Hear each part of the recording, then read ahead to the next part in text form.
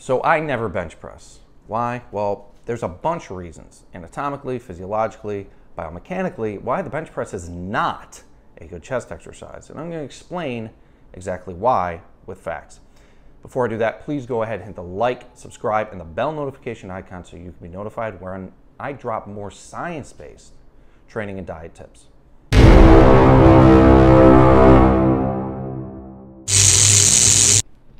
So why don't I bench press? Well, there's a couple of reasons. If you look at the basic anatomy of your chest muscles, the bench press doesn't make any sense because the primary function of your pecs is humeral adduction, bringing your arm from outside to in. But when you are doing a bench press, you're not getting any humeral adduction at all. It just doesn't optimally contract and load the chest muscles. The second reason has to do with the resistance curve. You know, if you are training to failure, which you should be for optimal muscle stimulation, you notice that when you're doing a bench press, you're going to often get stuck at the bottom. This is a mechanical sticking point that you may perceive as muscle failure, but it's not. A lot of times on the bench press, when you get stuck at the bottom, it's not because you achieved an aggressive level of inroad and fatigue. It's because the amount of force your muscles can produce throughout a range of motion changes. But with a bench press, it's the same amount of load throughout the entire range of motion. So when you are in the bottom position, you're placing your chest in a position of passive insufficiency, a stretched position, where the actin and myosin filaments are so far apart that they can't produce much force, but you're getting a huge amount of load in that position. The problem is you're going to get stuck.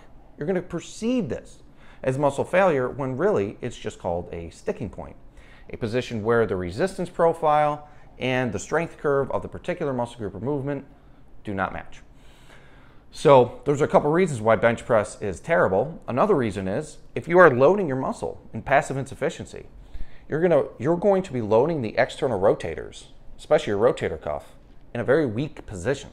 So if you're bringing the bar all the way down to your chest, eventually you will almost certainly get shoulder pain.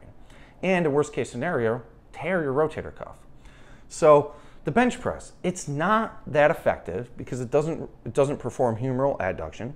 It's not safe because you're loading your external rotators in passive insufficiency.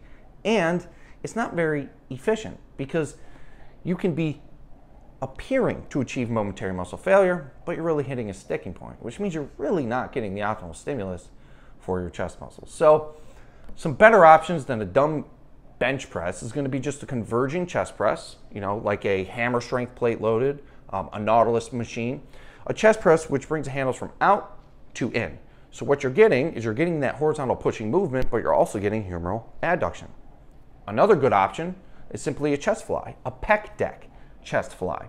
The pec deck is going to provide load throughout the entirety of the range of motion, not dumbbells. The problem with dumbbells is you're getting pretty much only load and passive insufficiency, which, as we just explained, is bad, and you're getting no load in the contracted position. So, two better options on a bench press, a converging chest press, or a pec fly pec deck machine.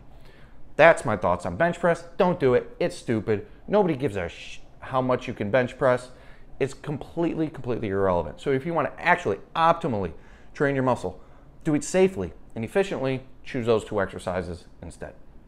Please like, subscribe, hit the bell notification icon because I'm going to do a ton more videos on debunking all the fitness industry BS, lies, nonsense, and helping you learn how to train extremely effectively, save time, and save your joints in the process.